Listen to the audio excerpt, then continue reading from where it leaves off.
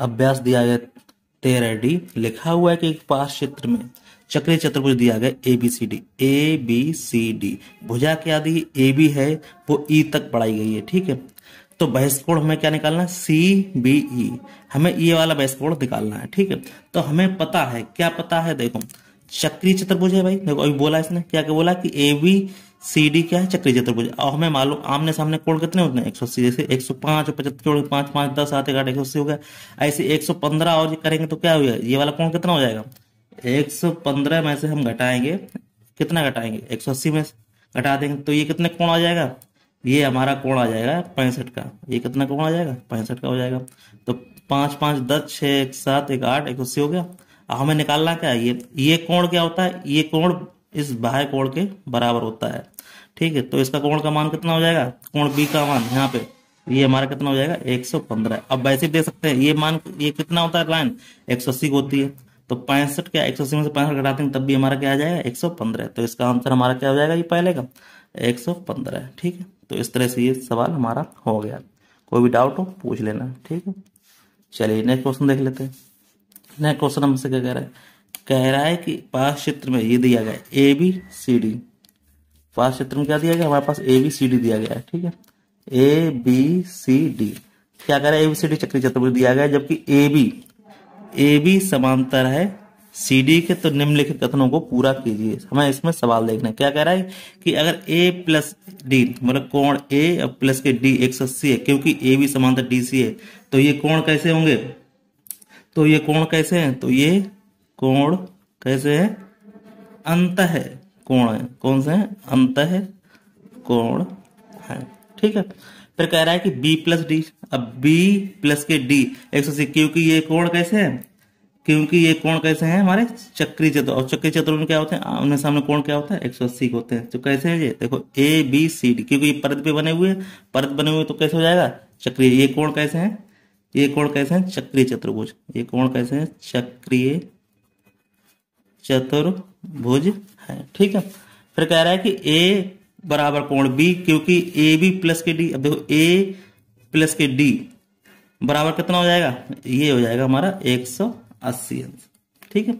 इस तरह से इसके आंसर होगा। कोई भी डाउट हो कमेंट बॉक्स कमेंट करके पूछ सकते चलिए नेक्स्ट क्वेश्चन देख लेते हैं। नेक्स्ट क्वेश्चन हमसे क्या कह रहा है?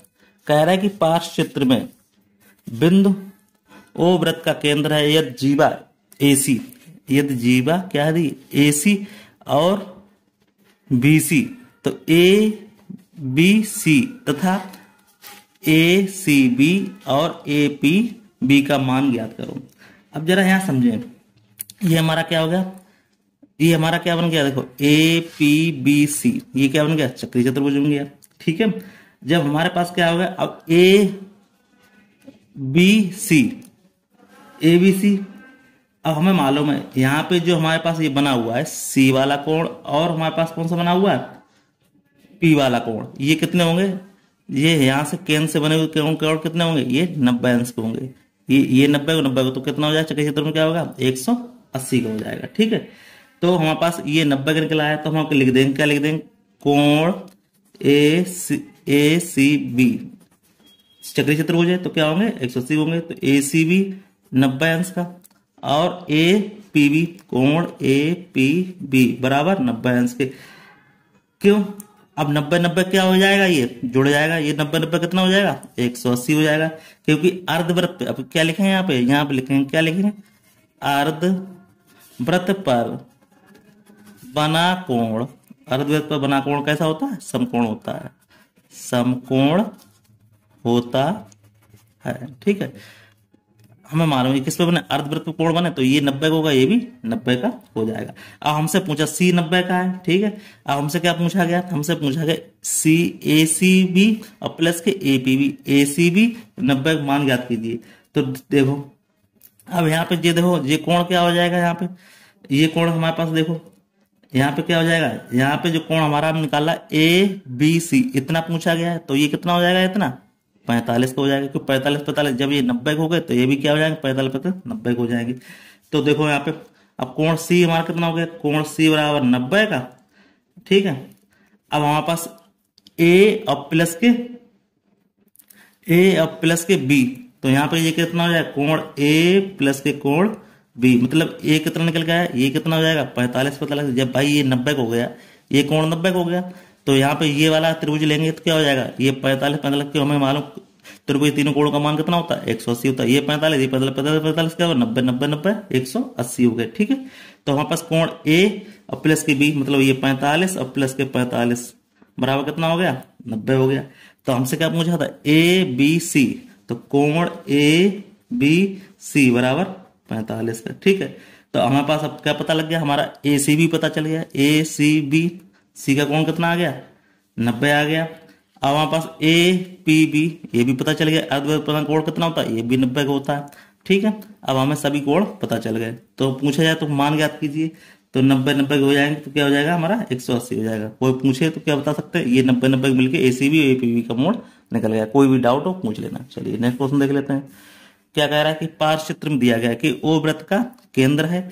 तो ए ओ बी व्यास है। तो व्रत पर बिंदु सी और डी इस प्रकार हैं कि कोण सी ए बी, तीस, सी ए बी, तीस और ए बी डी, चालीस तो सी ए सी ए डी और सी बी डी का मान याद करो। अब देखो यहाँ पे। ए, सी बी क्यों? अर्धवृत्त पे बनना कोण? तो हमें मालूम है, जब अर्धवृत्त पे कोण बना तो ये भी कितना हो जाएगा? नब्बे को हो जाएगा।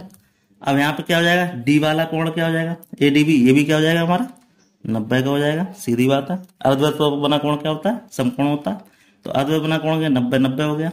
तो एक सौ अस्सी हो गया, ठीक है। तो यहाँ पे क्या हो जाएगा? सी ए बी हमारा दिया गया। तो कोण, देखो, कोण ए सी बी बराबर कितना दिया है? नब्बे है। तो कोण ए डी बी कोण ए डी बी बराबर ये भी क्या हो जाएगा? नब्बे हो जाएगा। हमारे पास सी ए भी दिया गया है। कोण सी ए बी बराबर कितना दिया है? तीस दिया गया। A, B, D. कोण? A, B, D. बराबर ये कितना दिया है? चालीस अंश का दिया है। तो हमसे पूछा क्या गया? हमसे पूछा गया है सी A D C A D का मान और हमारे पास क्या पूछा है? बी ए डी का। सी सी ए डी का मान ये पूरे का मान पूछा गया देखो, अब हमारे पास देखो, तीस ये हो गया।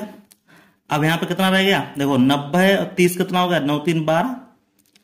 अब बारह और छ अठारह। तो यहाँ पे ये कितना हो गया? बारह छ अठारह, साठ को हो जाएगा। अब यहाँ पे ये कितना हो गया अब ये देखो, नब्बे नौ, चार। अब देखो, नौ नौ, चार, तेरह। तो यहाँ पे कितना बच गया? तेरह और ये पचास, अस्सी। ठीक है? तो हमारे पास देखो क्या कह रहा है। अब ये पूरा कोण कितना हो गया? पचास, तीन, अस्सी। तो यहाँ पे हम क्या लिख सकते हैं? हम लिख सकते हैं कोण कोण सी ए डी बराबर कितना? कोण सी ए डी तो ये पचास पचास और तीस, अस्सी हो गया। अब यहाँ पे ये पूछेंगे तो क्या हो जाएगा? अब कोण कौन सा पूछा? कोण सी बी डी तो कोण सी बी डी अब देखो, साठ और चालीस, सौ हो गया। यही पूछा था तो हमने दोनों कोण हमने निकाल ये अस्सी आ गया, ये सौ आ गया। ये क्या जाएगा? हमारा आंसर। कोई डाउट हो, पूछ लेना।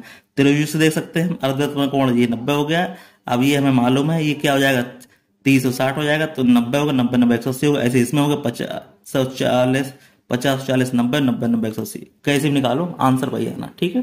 चलिए नेक्स्ट क्वेश्चन हम देख लेते कोई डाउट हो कमेंट क्वेश्चन कमेंट करके पूछ सकते हैं। चलिए नेक्स्ट क्वेश्चन क्या कह रहा है नेक्स्ट क्वेश्चन कह रहा है कि पास चित्र दिया गया। त्रिभुज दिया गया पी क्यू आर एस व्रत के अंतर्गत बना हुआ, यदि आर हमारा कितना दिया गया? अस्सी दिया गया है एस पचासी दिया गया है।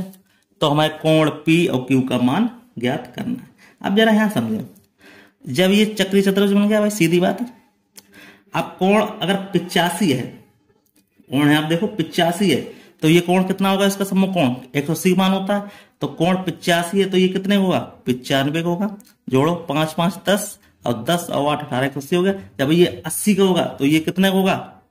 जब ये अस्सी का हो गया यहाँ पे तो ये कितना होगा? ये कोण हमारा सौ का होगा। अब देखो, यही पूछा गया कोण पी और क्यू का मान डायरेक्ट निकाल सकते हैं, कोई दिक्कत नहीं। तो कोण पी का मान हमारे पास कितना आ गया? सौ हो गया। और क्यू का मान कोण क्यू का मान पूछे जाए तो कितना बता सकते हैं? हम सीधा बता सकते हैं, पचानवे कोई भी डाउट हो, बहुत ही सिंपल क्वेश्चन था कोण पी का मान सौ आ गया कोण पिचानवे का मान कोण क्यू का मान क्या आ गया? पिचानवे का इस तरह से कर सकते हैं, बहुत ही सिंपल क्वेश्चन था। चलिए नेक्स्ट क्वेश्चन देख लेते हैं। अब क्या कह रहे हैं? पार्श चित्र दिया गया, दो व्रत दिए गए एक दूसरे को। बिंदुओं को पी अब क्यू पर प्रक्षेप करते हैं तो चक्रीय चतुर्भुज A B A P Q C अब कौन सा बी पी क्यू डी इस प्रकार है कि A P A P B और सी क्यू डी रेखाखंड ने तो ए पचानवे दिया है और सी का मान अस्सी दिया है। अब हमें मालूम, देखो ए सी या ऐसे कर ए पी क्यू सी अब हमें मालूम जैसे क्या बन गया चक्री चतुर्भुज। अगर ये पचानवे होगा तो सब कोण क्या होता है? एक सौ अस्सी होता है। ठीक है? तो हमारे पास देखो, कोण ए है तो कोण क्यू का मान कितना हो जाएगा? कोण जब हमारा ए है तो हमारे पास कोण क्यू का मान कितना हो जाएगा? देखो, पचानवे है तो यहाँ कितना रह जाएगा ये? कोण ए का मान। तो यहाँ पे हम पचानवे घटा देंगे तो ये कितना हो जाएगा? ये हो जाएगा हमारा पिचासी। कितना हो जाएगा? ये पिचासी जोड़ो, पाँच पाँच, दस, और दस, और आठ, अठारह। अब कोण ये अस्सी है तो ये कितना हो जाएगा हमारा? सौ हो जाएगा। पी का मान कितना हो जाएगा? ये सौ हो जाएगा, और सौ एक सौ अस्सी हो गया। अब इसी तरह इसके अब ये देखो, ये कोण होता है तो इस कोण का ये बैस कोण होता है। बैस कोण क्या होगा? इसके बराबर होगा। तो ये हमारा कितना हो जाएगा? ये कोण अगर कोई पूछे, पी, क्यू, डी तो ये कितना हो जाएगा? पिचानवे हो जाएगा। अब कोण ये पूछे कोई तो। ये इसका होता है। तो क्यों? कोण क्या हो जाएगा यहाँ पे? पी का मान यहाँ पे। कोण तो ये हमारा कितना हो जाएगा? अब देखो यहाँ पे, ये पिचानवे हो गया। अब यहाँ सौ है तो ये कितना रह जाएगा? अस्सी रह जाएगा, क्योंकि ये एक सौ अस्सी बना हुआ है। तो यहाँ पे अब जब ये अस्सी है तो यहाँ ये वाला कोण कितना हो जाएगा हमारा? कोण कोई अगर पूछे डी तो डी हमारा कोण कितना हो जाएगा? ये सौ हो जाएगा। कोण बी पूछे तो। कोण बी देखो, जब ये पचास पचानवे तो ये कितना हो जाएगा हमारा? पिछयासी हो जाएगा। कोई डाउट हो, पूछ लेना, ठीक है? तो इस तरह से अब भी कर सकते हैं। इन कोणों का मान कितना होता है? एक सौ अस्सी होता है, तब भी जोड़ सकते हैं। देखो, पाँच पाँच, दस दस आठ, अठारह, एक सौ अस्सी हो गया, एक सौ अस्सी ये हो गया। तो किसी भी तरह से कोई दिक्कत वाली बात इसमें है नहीं। तो इस तरह जो मान पूछा, आप लिख सकते हैं। देखो क्या क्या पूछा था हमसे?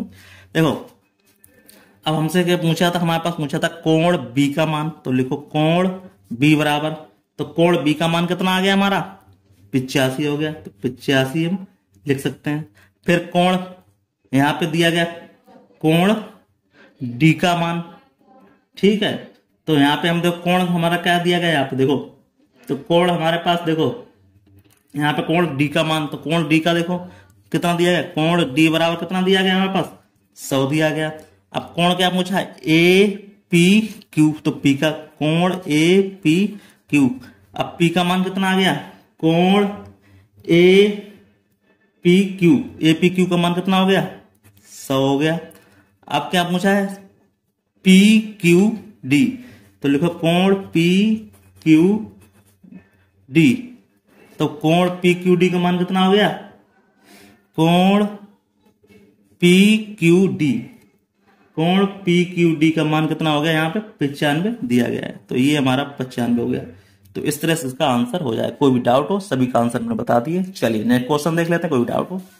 चलिए नेक्स्ट क्वेश्चन क्या कह रहा है हमसे? नेक्स्ट क्वेश्चन हमसे कह रहा है, क्या कह रहा है? ठीक है। नेक्स्ट क्वेश्चन हमसे क्या कह रहा है? ये कह रहा है कि एक चित्र दिया गया है। क्या कह रहा है? कि ए बी सी, डी एक क्या है? चक्री चतुर्भुज है अगर हमारे पास क्या करें कोण सी का मान कितना दिया है? एक्स दिया है तो ए का मान टू एक्स है तो एक्स का मान क्या हमें तुम्हें मालूम है। क्या मालूम है? कि चक्री चतुर्भुज, आमने सामने कोण कितने समकोण होते हैं। एक सौ अस्सी होते हैं। तो कोण ए प्लस के कोण सी बराबर कितना होता है? बताया चक्री चतुर्भुज क्या होता है? एक सौ अस्सी समकोण होते हैं। ठीक? तो क्या हो जाए ए का मान कितना दिया गया? टू एक्स दिया गया। और सी का मान कितना दिया? एक्स दिया बराबर एक सौ अस्सी। तो टू एक्स प्लस के एक्स बराबर थ्री एक्स बराबर एक सौ अस्सी तो एक्स बराबर एक सौ अस्सी बटे तीन तीन छह अठारह तो एक्स बराबर क्या आ जाएगा? साठ अंश। यही आंसर हो जाएगा। इस तरह से हमारा चैप्टर क्या हो गया ये? दी एंड हो गया। तो फिर मिलते नेक्स्ट में। तो धन्यवाद। वीडियो अच्छा लगे, वीडियो को लाइक शेयर ज़रूर करें।